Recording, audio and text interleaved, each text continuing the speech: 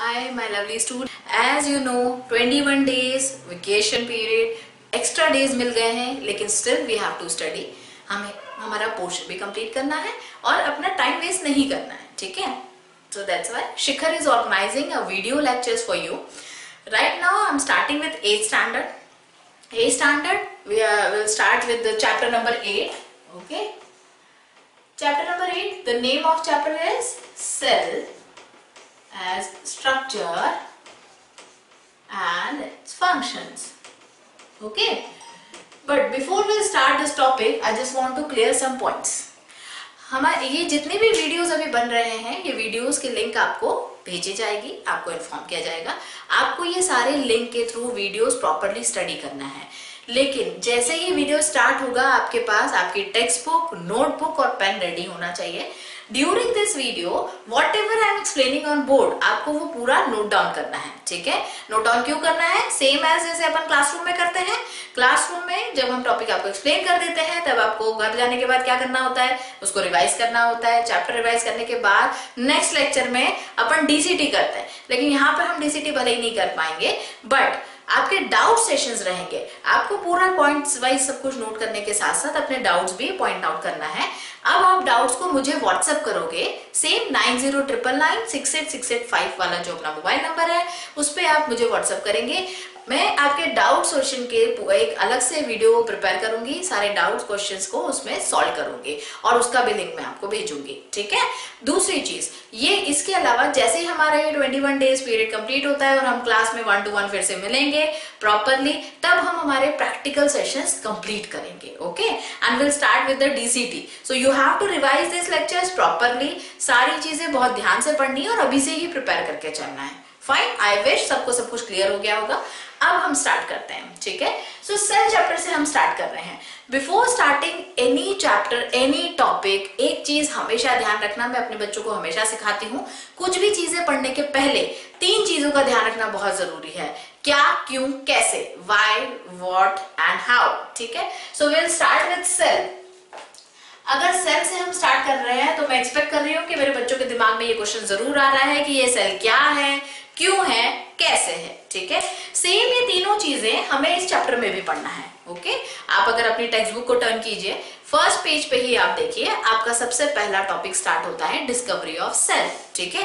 But उसके पहले हम छोटा सा सेवन स्टैंडर्ड का एक रिव्यू लेते हैं। सेवन स्टैंडर्ड में हम ये पढ़ चुके हैं कि पूरे एनवायरमेंट में जो भी थिंग्स हैं, वो दो पार्ट में डिवाइडेड है। दो तरह से हैं। कैसे? एक है क्या?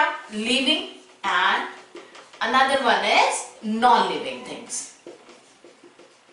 अब लिविंग थिंग्स क्या है और नॉन लिविंग थिंग्स क्या है? नॉन लिविंग थिंग्स का बहुत अच्छे से मेरे बच्चे सब चीज़ें जानते हैं, समझते हैं but still I am telling you non living वो है जो एक्टिव नहीं है। ठीक है, जो रेप्लीकेट नहीं कर सकती, जो रिप्रोड्यूस नहीं कर सकती, जो डाइजेशन नहीं कर सकती, ऐसी चीज़ें नॉन लिविंग है। बट इस चैप्टर में हमें पढ़ना है किसके बारे में? लिविंग थिंग्स के बारे में। आप अपने चैप्टर के इंट्रोडक्शन पार्ट को पढ़ोगे तो वहाँ पर भी ये चीज़ दी गई है। लिविंग ऑर्गेनिजम्स डिफरेंट टाइप के होते हैं। कैसे हो सकते हैं? स्पेसिफिकली अगर अपन देखें तो कुछ है एनिमल्स है ओके देन प्लांट्स भी लिविंग में आते हैं एंड माइक्रो ऑर्गेनिजम्स ये भी आते हैं। अगर हम बात कर रहे हैं एनिमल्स प्लांट्स माइक्रो ऑर्गेनिजम्स तीनों ये तीनों लिविंग ऑर्गेनिजम्स हैं, लेकिन तीनों की अपनी अलग अलग प्रॉपर्टीज़ हैं। तीनों की प्रॉपर्टीज़ क्या है? एक दूसरे से डिफरेंट है, ठीक है? इनका साइज़ शेप अरेंजमेंट फ़ंक्शन ये सारी चीज़ें क्या होंगी?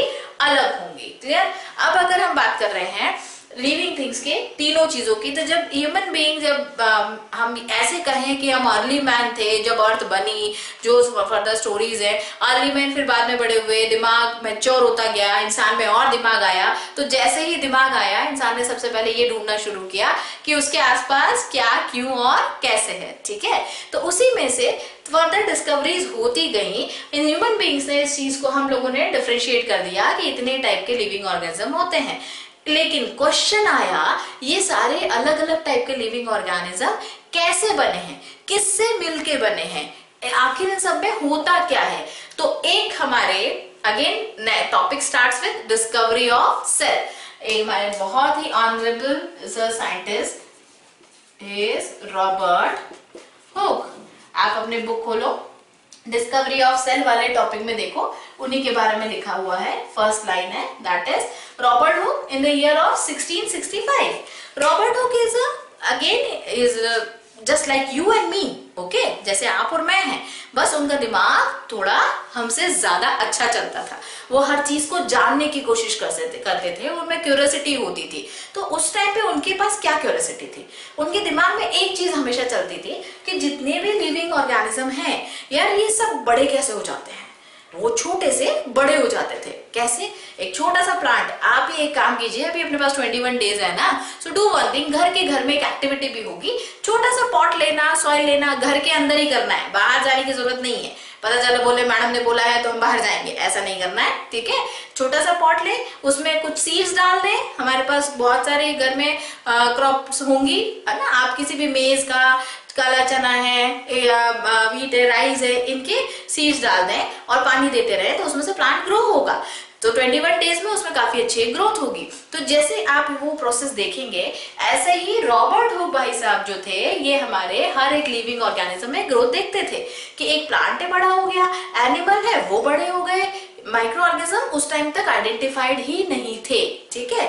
पता ही नहीं था कि ऐसे माइक्रो ऑर्गेनिज्म होते भी हैं क्लियर तो हम बात कर रहे थे रॉबर्ट हुक की, ठीक है? जिन्होंने 1665 में एक बहुत बड़ा ये कहा जाए कि इन्वेंशन किया एक बहुत बड़ी चीज़ बताई, जिसके बेसिस पे बायोलॉजिकल साइंस में एक इवोल्यूशन आया।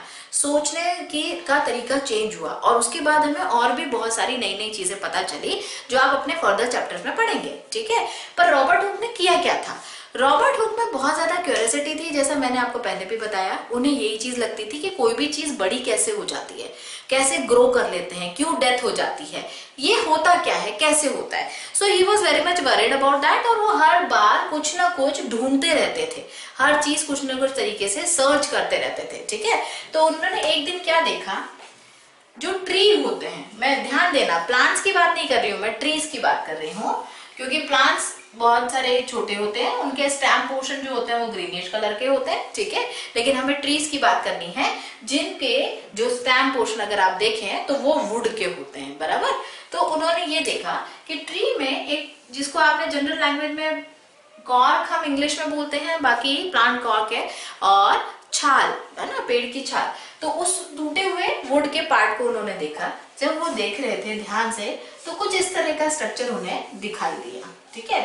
अब जो ये स्ट्रक्चर मैं बना रही हूँ आई एम एक्सपेक्टिंग कि आप लोग गेस करें कि ऐसा ही स्ट्रक्चर और किसमें होता है।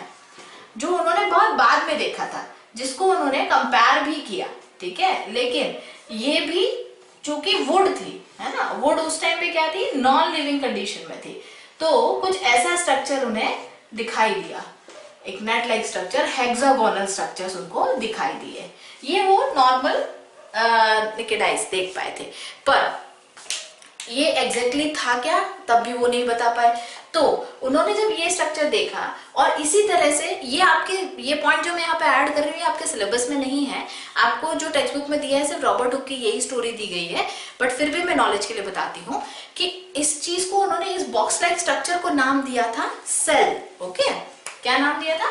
सेल उनका ये कहना था, ये बॉक्स लाइक स्ट्रक्चर है कॉम्पैक्ट स्ट्रक्चर है, जो हनी बी कॉम जो मधुमक्खी का छत्ता, उसके जो घर होते हैं, जिसमें हनी फॉर्म होता है, आप लोगों ने भी देखा हो, वहाँ पर भी कुछ इसी तरह के स्ट्रक्चर थे। अभी मैंने आपसे कहा था इमेजिन करिएगा कि शेप किस तरह का है तो आई विश मैक्सिमम स्टूडेंट ने इसको कंपेयर किया होगा। सो उस तरह से वहाँ भी उन्होंने इस चीज़ को देखा और एक वर्ड दिया कि cell cell means a particular little home जहाँ पर सारी चीज़ें हो सकती हैं। बट इस चीज़ को भी वो प्रॉपरली प्रूवन कैसे कर पाए? एक यूनिट है यूनिट या ये कहा जाए, आज की डेट में एक इंस्ट्रूमेंट है, जिसे हम कहते हैं माइक्रोस्कोप ठीक है? तो मैं जो एक छोटी सी स्टोरी यहाँ पे ऐड कर रही हूँ। माइक्रोस्कोप बनाने वाले जो व्यक्ति हैं, उनका नाम है एंटोनी वन लुइनहुक जिनको फादर ऑफ़ माइक्रोबायोलॉजी भी बोला जाता है, ठीक है? अब फादर ऑफ़ माइक्रोबायोलॉजी क्यों बोला जाता है? Because is the first person जिन्होंने सबसे पहला माइक्रोस्कोप डिस्कवर किया था। ओके बेसिक सा माइक्रोस्कोप था। तो वो कौन है? सेकेंड नेम ये जो नेम्स मैं आपको बताती जा रही हूँ, ये आपको याद होने चाहिए। पॉइंट आउट करके रखें, हमेशा ध्यान रखें। That is Antonie van Leeuwenhoek मेरे एट स्टैंडर्ड के बच्चे इसको नाइन्थ में आकर पढ़ेंगे बट मैं यहाँ पे एड ऑन कर रही हूँ। Again who is it was known as father of microbiology microbiology बहुत अच्छे से ये वर्ड ध्यान रखें, क्योंकि सेल के बाद हम नेक्स्ट चैप्टर यही पढ़ने वाले हैं, जो हमारा एक और चैप्टर है, जिसका नाम है माइक्रो ऑर्गेनिजम्स ठीक है? तो वहाँ पे ये काम आएगा, बराबर? अभी अपन वापस आते हैं। एंटोनी वन ल्यूनहुक ने जो माइक्रोस्कोप बनाया था सबसे पहला, उसकी मदद से फिर रॉबर्ट हुक ने सेल देखा, ठीक है? लेकिन अलाइव सेल कैसे देखा? वो तो डेड पार्ट थे, जो कॉर्क में देखा, वो डेड पार्टिकल्स थे। उन्होंने क्या देखा? अलाइव सेल देखा। तो वो ही अलाइव सेल कौन देखेंगे? आज आप सब देखेंगे। जैसे ही लेक्चर ये वीडियो कंप्लीट होता है अगेन इट्स एन होमवर्क और एन एक्टिविटी आप लेके आएँगे क्या? ऑनियन ऑनियन जो है हमारी बात चल रही थी छोटी सी एक्टिविटी की दैट इज़ ऑनियन ये दिख रहा है है ना? डूंगरी बोलते हैं गुजराती में भी, और मेरी गुजराती बहुत खराब है, लेकिन फिर भी इतना तो आता है। सो ऑन रॉबर्ट ओ भाई साहब ने क्या देखा? उन्होंने क्या करा? आप जो मैं अभी कर रही हूँ, ये आपको अभी घर पे करना है, ठीक है? और जब अपने क्लासेस स्टार्ट होंगे तो अपन क्लासरूम में जो प्रैक्टिकल्स करते हैं, वो तो हम करेंगे ही। तो ये, क्या है? आपके बुक में भी ये एक्टिविटी दी हुई है, आप अगर ध्यान से देखें, ध्यान से पढ़े तो। ये जितना भी ऑनियन है, उसका जो रेड पार्ट है डेड पार्ट है ना? आउटसाइड जो स्पिल्स हैं, इनको हमको सबको निकाल देना है प्रॉपरली हटाना है, ठीक है? घर में कचरा मत करना, नहीं तो मम्मी डांटेगी, बहुत ध्यान से काम करना, ठीक है? और अब, उन, ये जो आपकी ऑनियन पिल्स हैं ऑनियन का स्ट्रक्चर ये देखो, ध्यान से देखोगे तो मैंने क्या किया है, यहाँ पर एक ऑनियन की पिल को रिमूव किया है, ऐसे। ठीक है? तो आपको भी छोटा सा लेना, ज़्यादा बड़ा ऑनियन मत ले लेना, बिल्कुल छोटा सा लेना, क्योंकि अभी वैसे क्या है लॉकडाउन है, ज़्यादा सब्ज़ी खराब करोगे तो मम्मी भी डांटेगी। तो इस तरह से आप एक, दो, तीन लेयर निकालिएगा कोई सी भी एक लेयर निकाल लीजिएगा, ठीक? इसको मैं डायग्राम से ड्रॉ करके बताती हूँ। ये हमारा ऑनियन का स्ट्रक्चर है लाइक like दिस अब अंदर से ऐसे लेयर मिलेंगे ऑनियन के बहुत सारे। आपको यहाँ पर ये छोटा सा हेयर लाइक स्ट्रक्चर थोड़े से उसके दिखेंगे आपको ऑनियन के आपको यहाँ से क्या करना है? सिर्फ़ इस लेयर को ही निकालना है। लेकिन इतने ध्यान से निकालना है कि ये दो लेयर के बीच में आपको यहाँ पर एक परमिएबल मेम्ब्रेन परमिएबल मेम्ब्रेन क्या होती है? मेरे सेवन स्टैंडर्ड के स्टूडेंट अच्छे से जानते हैं। जानते हैं ना? कैसे? क्योंकि हमने सेवन परमिएबल मेम्ब्रेन के बारे में पढ़ा है। ऑस्मोसिस और डिफ्यूजन क्या होता है? कोई भी चीज़ को एक तरफ़ से दूसरी तरफ़ ट्रेवल कराने के लिए रिस्पॉन्सिबल होती है। पर यहाँ पर उसको परमिएबल मेम्ब्रेन का फ़ंक्शन अलग है नाम अलग है? तो ये जो बहुत पतली सी मेम्ब्रेन है, ये मैं आपको दिखाती हूँ। इस पिन को पूरा निकाल लेना है और बहुत ध्यान से, धीरे से आप अगर देखेंगे आई थिंक ये कैमरा में फोकस हो रही हो। यहाँ पर एक बहुत पतली सी मेम्ब्रेन निकलेगी। ये देखिए धीरे धीरे करना स्लोली करना तो एक प्रॉपर मेम्ब्रेन का एक पूरा लंबा पोर्शन आपको आप निकाल पाएँगे। जितना बड़ा निकाल पाओगे, उतना इजी है। दिख रहा है? आई विश दिख रहा हो। बस। अब एक्चुअली जब अपन क्लास में करेंगे ना इसको बेटा तो हम इसकी स्लाइड्स भी बनाएँगे। पर अभी आपके लिए जस्ट समझने के लिए थोड़ा ध्यान से अगर आप देखें, इस मेम्ब्रेन को, इस पोर्शन को, इस ट्रांसपेरेंट स्ट्रक्चर को आप लाइट की तरफ़ देखेंगे लाइट की तरफ़ करके तो आप जो सेक्शन पार्ट मैंने बनाया था, जिस साइड से आपको लाइट आ रही हो, ठीक है? ये बहुत ध्यान से देखो, एकदम पतली सी मेम्ब्रेन है। प्रॉपरली दिख रही होगी। ये ऐसे नहीं दिखेगी। लेकिन हम इसको लाइट की तरफ़ देखें और मेरा आई सेक्शन भी देखो, ऐसे ऊपर रखना और लाइट में करके देखना। ठीक है? घर पे सबको भी दिखाना। तो तुम्हें सेक्शन दिखेंगे। जैसा अभी थोड़ी देर पहले मैंने स्ट्रक्चर ड्रॉ किया था हनी भी कॉम जैसा, उसके हनी कॉम जैसा स्ट्रक्चर आपको दिखाई देगा। यही दिखा था रॉबर्ट हुक को। लेकिन ये तो हम बिना माइक्रोस्कोप के देख रहे हैं तो हम सिर्फ़ ऐसे हल्की हल्की लाइनें देख पाएँगे, वो सेक्शंस देख पाएँगे। जब अपन क्लास में आएँगे, तब मैं इसका प्रैक्टिकल भी करवाऊँगी। माइक्रोस्कोप में जब अपन स्लाइड बना के इसको देखेंगे तो ऑनियन क्या है? Onion is a plant product हम कह सकते हैं कि ये प्लांट है। तो प्लांट क्या है? लिविंग ऑर्गेनिजम्स हमने थोड़ी देर पहले ही देखा था। तो अगर वो लिविंग है और वो प्लांट है तो उनके सेल्स कहीं ना कहीं डिवाइड हो रहे होंगे। उनमें कहीं ना कहीं मूवमेंट हो रहा होगा। यही चीज़ देखी थी रॉबर्ट हुक ने। उन्हें एंटोनी वोल्यूइन हॉक ने जो माइक्रोस्कोप दिया था इस तरह से ऑनियन सेल को लाइव उन्होंने देखा और उन्हें मूवमेंट दिखाई दिए और इस, ये चीज़ फर्दर और आगे डिस्कवर हुई। अभी आपके सिलेबस में सिर्फ़ यही चीज़ दी गई है। फर्दर और भी चीज़ें बढ़ी और आगे की स्टडीज़ जो है, वो आप देखेंगे। ठीक है? अब ईयर हमेशा याद रखना, कौन से ईयर में काम किया था? 1665 ये क्वेश्चन जो है हमेशा एमसीक्यूज में भी पूछा जाता है। अब आपको पता है कि हमारा सीबीएसई e का पेपर पैटर्न चेंज हो गया है। वन मार्कर क्वेश्चन आते हैं। Fill in the blanks match the column true false किसी भी तरीके से वहाँ पर ये चीज़ें पूछी जा सकती हैं। ठीक है? तो यहाँ इस चीज़ को ध्यान रखें। अब अपन आगे बढ़ते हैं। जब ये सेल देख लिया गया, तब रॉबर्ट हुक ने इसको सेल नाम दिया। इट्स बिगेस्ट ये कहा जाए रिसर्च जिसमें हमें पता चला कि जितने भी लिविंग ऑर्गेनिजम्स होते हैं, वो सब सेल से मिलकर बने होते हैं। अब आपका सेकेंड टॉपिक स्टार्ट होता है that is cell structure of a cell structure of cell में यहाँ पर एक चीज़ आती है। क्वेश्चन आता है, कैसा स्ट्रक्चर स्ट्रक्चर ऑफ़ सेल और ये क्यों? एक्चुअली स्ट्रक्चर ऑफ़ सेल बहुत सारे हैं अलग अलग हैं। अब अगर कैसे अलग अलग है? अगेन सबसे पहले हम सबसे छोटों की बात करते हैं माइक्रो ऑर्गेनिजम्स की बात करते हैं। वैसे भी अभी ये बहुत ज़्यादा चर्चा में है कोरोना वायरस माइक्रो ऑर्गेनिज्म में नहीं आता वायरोलॉजी है, वो एक वायरस में आता है, उसकी भी अपनी प्रॉपर्टी है। माइक्रो ऑर्गेनिज्म वाले चैप्टर में हम उसके बारे में भी पढ़ेंगे। लेकिन वो सिंपली क्या है? माइक्रो ऑर्गेनिज्म जो इजीली विजिबल नहीं है, ठीक है? सेकेंड कौन आए? प्लांट्स हमने बोला। और फिर हमने बोला एनिमल्स फिर से हम उसी पहले टॉपिक पे आ जाते हैं।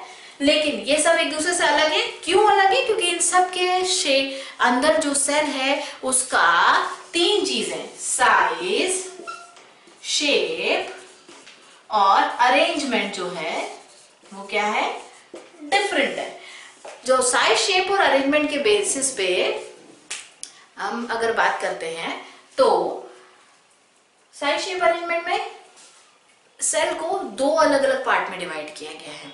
कौन कौन से पार्ट में? एक सिंगल सेल और एक मल्टी सेलुलर स्ट्रक्चर ठीक है? तो सिंगल सेल यानी जो एक ही सेल से मिलके बने हो और मल्टी सेलुलर जो बहुत सारे सेल से मिलके बने हो, ठीक है? तो माइक्रो ऑर्गेनिज्म क्या है? सिंगल सेल वो एक ही सेल से बने हैं। और यहाँ अगर हम बात करते हैं प्लांट्स और एनिमल्स की तो ये किसमें आते हैं? मल्टी सेलुलर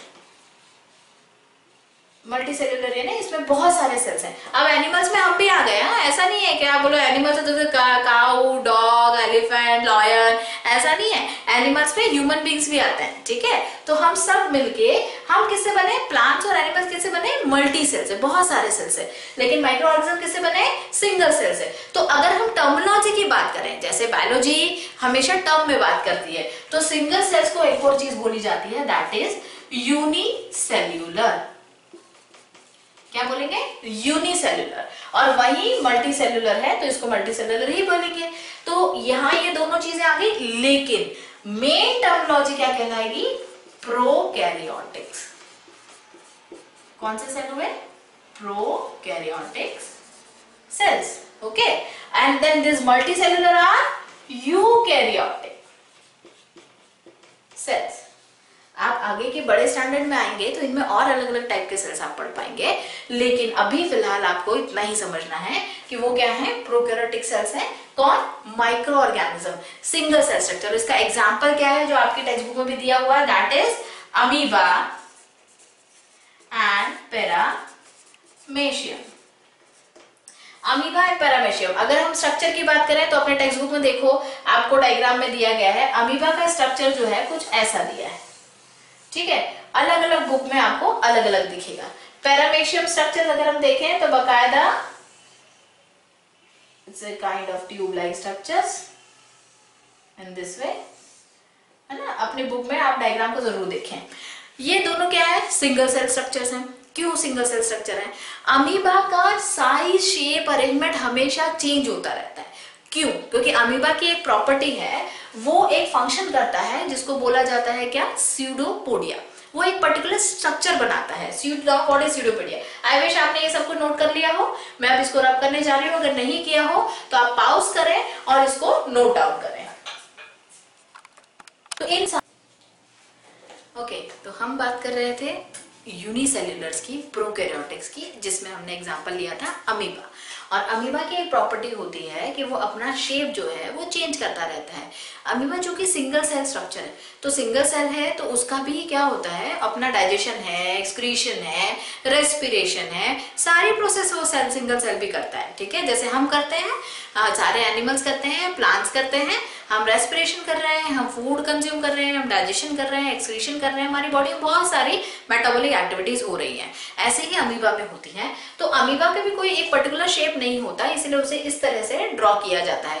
और वो क्यों नहीं होता? क्योंकि अमीबा अपना फ़ूड एनवायरमेंट से जब कंज्यूम करता है तो अब उसकी जो मेम्ब्रेन है, जो उसकी outer membrane that is cell membrane ठीक है, या सेल वॉल भी कहा जा सकता है उससे उसके मदद से वो अपने फ़ूड ऑब्जेक्ट को कवर करता है। तो इस प्रोसेस को कवर करने के बाद एनगल्फ कर लेता है। अंदर उसके सेल इस एरिया में जो डॉटेड स्ट्रक्चर में मैंने बताया है that is a cytoplasmic area जहाँ पे फ़ूड एंजाइम्स होते हैं, आप ये समझें डाइजेस्टिव एंजाइम्स होते हैं, जो उस एनगल्फ किए हुए फ़ूड को डिग्रेड करते हैं, और फर्दर अमीबा अपने एनर्जी बनाता है और सरवाइव करता है, ठीक है? तो ये जो प्रॉपर्टी आती है, इस पर्टिकुलर सेक्शन को कहा जाता है स्यूडोपोडिया ये आपके सिलेबस में नहीं है, लेकिन फिर भी मैंने आपको बताया है, ये आप इसको ध्यान रखें। ये उसका फ़ंक्शन एक्टिविटी है। अब, अगर हम बात कर रहे हैं, हम ये हमने बात की किसकी? यूनिसेलुलर की। अब हम बात करते हैं किसकी? मल्टी सेलुलर की। मल्टी सेलुलर मैंने फिर से बताया था वो लिविंग ऑर्गेनिज्म जिनमें बहुत सारे नंबर ऑफ़ डिफरेंट सेल्स होते हैं ओके तो जिसमें कौन आता है? प्लांट्स आते हैं और हम आते हैं एनिमल्स आते हैं ठीक? तो लेकिन कितने सेल्स है ना? एक क्वेश्चन ये आता है जैसे स्टार्टिंग में कहा था क्या क्यों कैसे? सो so, जितने भी यूकैरियोटिक सेल्स हैं वो billion million trillion number of cells से मिलकर बने हैं। और वो सारे सेल मज़े की बात ये है कि हमारी बॉडी के ये सारे डिफरेंट सेल्स आपस में डिफरेंट डिफरेंट ऑर्गेनल पार्ट्स बनाते हैं। डिफरेंट टाइप के टिश्यूज टिश्यूज से ऑर्गन ऑर्गन से पूरा ऑर्गन सिस्टम बना होता है और तब जाकर के हमारी बॉडी फ़ंक्शन करती है, ठीक है? तो इसीलिए जो हमारा टॉपिक है size shape and numbers of cell ये क्या है? Size shape and number of cell means कितने कौन कौन से शेप होते हैं साइज़ होते हैं और कितने नंबर्स होते हैं। तो हमने माइक्रो ऑर्गेनिज्म में तो देखा प्रोकैरियोटिक सेल में वो सिंगल सेल होते हैं। जब हम बात करते हैं यहाँ पर यूकैरियोटिक की, या फिर जो आपके टेक्स्ट बुक में दिया हुआ है that is multi cellular multi cellular living organisms की तो यहाँ पे दो पार्ट में डिवाइडेड है। Again that is plants and another one is animals plants में अलग अलग पोर्शन होता है। जैसे क्या क्या होते हैं, हमें पता है रूट्स होती हैं, ठीक है? स्टेम पोर्शन होता है उनका। फ्लावर है लीफ है।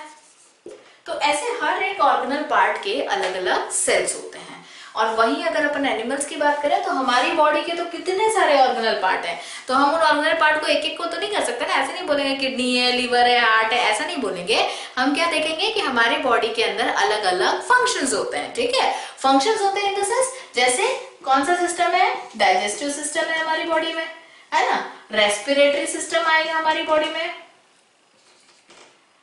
इसके अलावा सबसे इंपॉर्टेंट क्या है? Control and coordination control and coordination इन्हें जो ब्रेन हमारा काम करता है नर्वस सिस्टम हमारी बॉडी में काम करता है एक्सक्रीटरी सिस्टम हमारी बॉडी में आता है, ऐसे बहुत सारे अलग अलग सिस्टम होते हैं।